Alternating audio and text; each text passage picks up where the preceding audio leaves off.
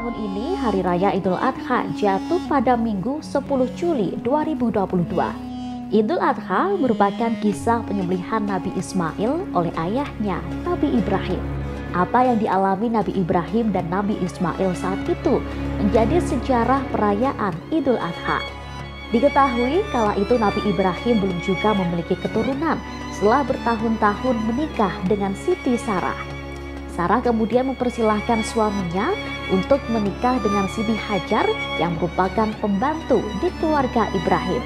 Dari pernikahannya dengan Hajar, Nabi Ibrahim dikaruniai seorang putra yang kemudian diberi nama Ismail.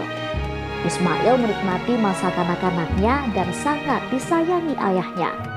Namun pada suatu ketika, tepatnya pada malam 8 Zulhijjah, Nabi Ibrahim bermimpi didatangi seseorang yang membawa pesan dari Tuhan.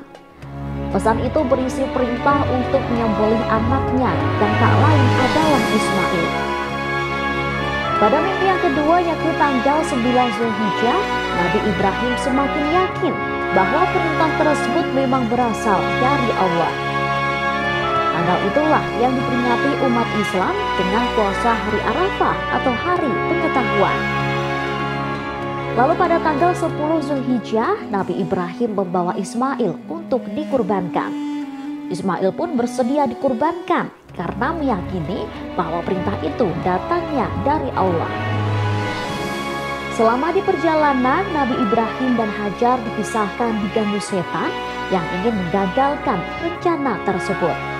Tak hanya itu saja, saat Nabi Ibrahim ingin menyembelih putranya, tiba-tiba parang yang sudah ditajamkan menjadi tumpul.